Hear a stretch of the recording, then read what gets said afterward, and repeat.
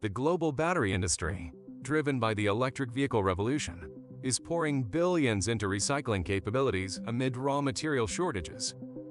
But as they seek greener supply chains, the industry grapples with uncertainties in battery chemistry, regulations, and ownership of end-of-life batteries. This exploration delves into these challenges, revealing the dynamic landscape of battery recycling.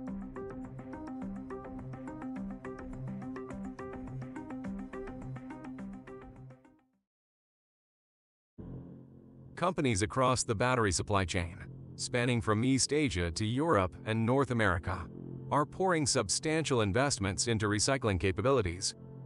This strategic move is driven by the anticipation of raw material shortages critical for powering the next generation of electric vehicles.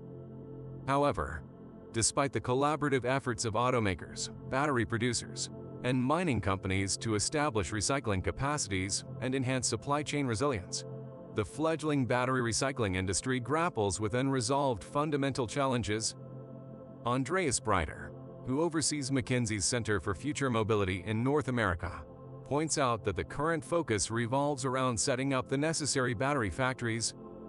However, the looming question, a decade or so down the line, is what to do with the accumulating used batteries.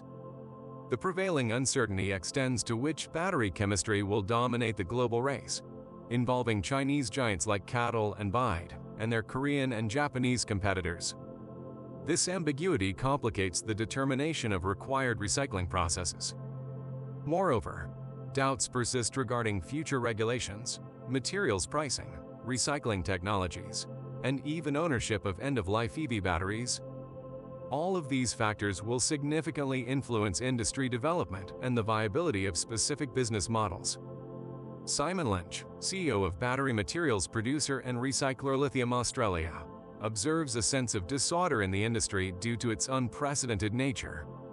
He predicts that new, currently unheralded players will emerge as major contenders in the market in the next 5 to 10 years. Battery recycling, involving smelting, chemical treatment, or both, carries its own environmental impact. Recyclers face the challenge of demonstrating that their processes remain more environmentally friendly and economically attractive compared to mined materials especially considering advancements in cleaner extraction techniques. Currently, the primary sources of feedstock for recyclers are cells from consumer products like laptops and scrap from battery plants. However, the projection is that production scrap will constitute 53% of recyclers' feedstock in 2025, but decrease to 43% by 2030, 14% by 2035 and just 6% by 2040, as the global electric vehicle fleet is expected to surge to 350 million vehicles by the end of the decade, according to the International Energy Agency. The evolving landscape poses a dilemma for recyclers, as the logistics and business models for recycling scrap and end-of-life batteries differ significantly. For production scrap, Establishing facilities near battery plants makes sense for a seamless material circulation back into the production process. In North America, this approach has led to partnerships between battery manufacturers and recyclers. For end-of-life batteries, a different approach is needed, involving collection, safety assessment, disassembly, and recycling.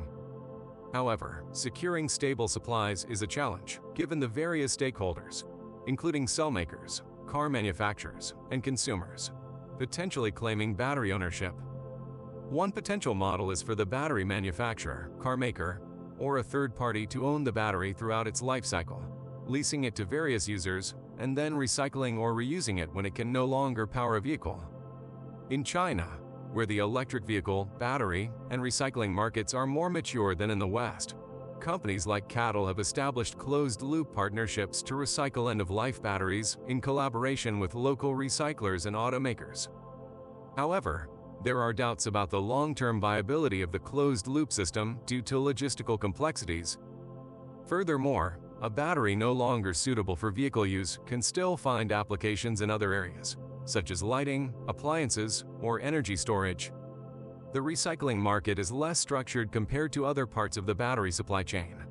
And this could lead to the bifurcation of supply chains for scrap and end-of-life batteries.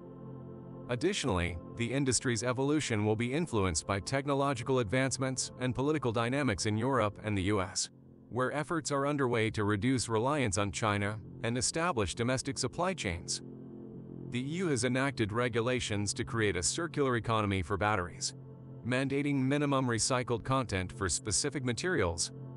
Concerns about materials leaking from Europe to China may lead to further regulatory measures. The choice between lithium iron phosphate LFP batteries, dominant in China, and nickel manganese cobalt NMC batteries, favored by Korean and Japanese manufacturers, will also impact the recycling industry. LFP batteries have a lower value due to the abundance of iron phosphate, which may affect the margins of LFP recyclers in the Western market. Finally, the industry is susceptible to disruption from emerging proprietary techniques developed by smaller recycling companies, potentially reshaping the recycling landscape. Given these uncertainties, the commercial viability of the recycling model hinges on future technological developments, evolving regulations, and the dynamics of the materials market.